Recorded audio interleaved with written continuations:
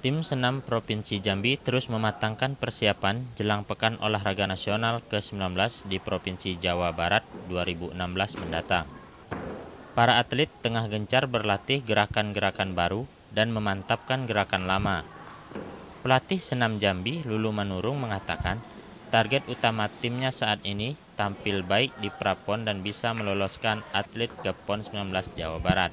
2012 memang kita sekarang lagi persiapan, tahap persiapan untuk pengejaran elemen gerak, gerakan-gerakan yang baru, gerakan-gerakan yang lama dimantapkan, gerakan-gerakan yang baru itu dicoba dimasukkan apakah nanti akan mempengaruhi kepada kualitas nilai itu sekarang yang dicari. Hmm.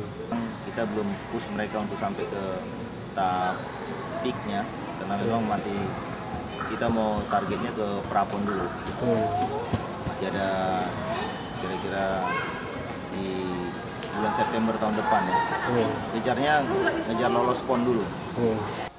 Senam Jambi akan mengandalkan disiplin balok keseimbangan dan kuda lompat untuk mendulang medali.